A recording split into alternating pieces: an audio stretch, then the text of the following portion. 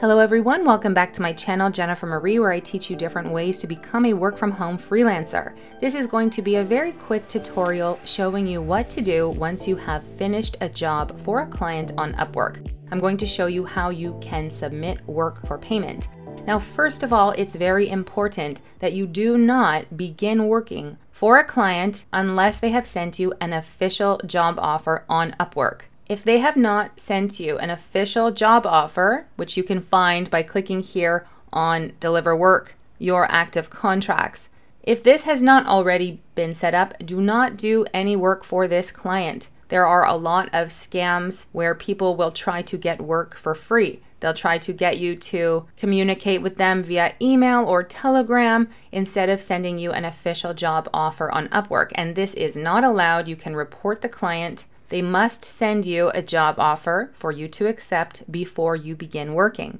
And if it's a fixed price job offer, they must have deposited money already in escrow, and that is to protect you. Otherwise, you might do the job for free. So, the only way to make sure you get paid for your work is to accept a job offer where the money has already been deposited in escrow. And if you're doing an hourly rate job, you must have the Time Tracker app installed, and you must track the hours you're working while you're working. That's the only way Upwork can help you with payment protection. Once you have been sent a contract, some clients may prefer to communicate via email. It's easier for them, and that's okay. But when you are sending work to a client and accepting job offers, that all must be done on Upwork for your own protection. So, if you have accepted a job offer and now you have completed your work, how can you go about sending this to your client so that you can get paid? Well, there are two different options. You may just go into your messaging by clicking here on messages and then opening up the chat that you have with your client. So from here, you can let your client know, hi, I have finished the work. I'm going to send it to you here now for your review. Let me know if you need any changes. And what you can do is click here on the attach file icon and then click upload a file, or you can click share via Dropbox. Then you would attach your file, press enter to send this to your client. Now, if you do it this way, you are hoping that your client is going to go ahead and release the payment to you. If you do it this way, it may take a bit longer for payment to be released. Some clients forget to release the payment to you, so the better way to do this is to directly submit the work for payment. And that way it starts a timer where if your payment is not released within a certain amount of time, it gets automatically released to you. So to do that, you're going to click here on Deliver Work go back to your active contracts, and you're going to select the job that you are ready to submit work for payment. So I'm going to click here on active milestones, and this is the one that I'm ready to submit my work to this client. Now, this client has been a little unresponsive the past few days, so I think it's better for me to do it this way. So I'm just going to click here on submit work for payment.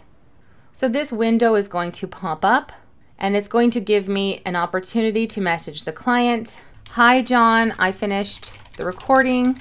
I've attached it below in the same file format as the previous recording. Thank you. So you can just let them know you finished the work, then click on attach file and go ahead and attach your file.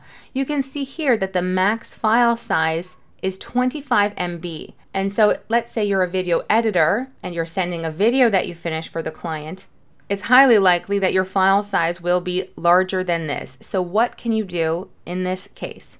Well, you're going to have to upload the file to a safe platform or website and send a link to your client that way. And when you do this, you want to make sure it's a trusted website. So I recommend using Dropbox or Google Drive. So Google Drive, it's free, drive.google.com.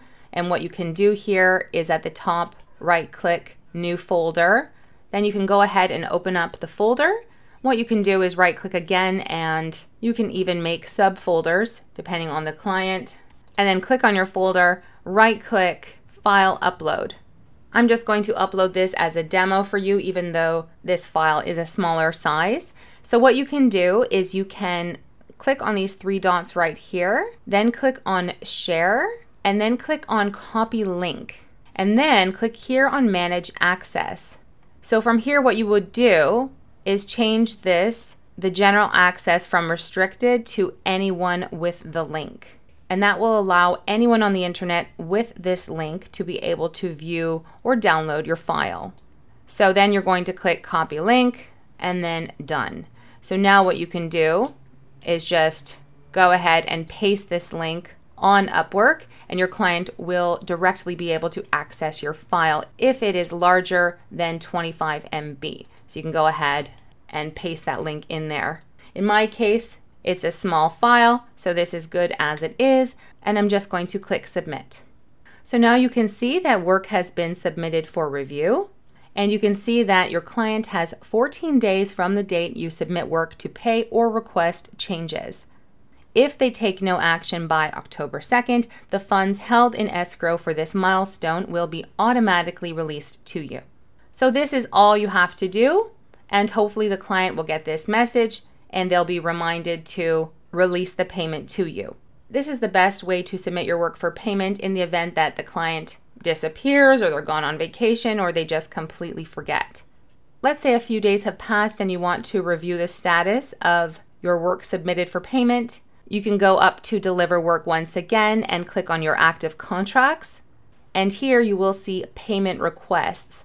So if you click on that, you'll be able to see any payment requests that you have made and the date as well. So if you have any questions about how to submit work for payment or you want to know anything else about Upwork, feel free to ask me in the comment section below. And you can also check out my many different videos and tutorials on how to use Upwork as a beginner. Good luck with your freelancing journey, and I hope you subscribe for more tutorials like this one.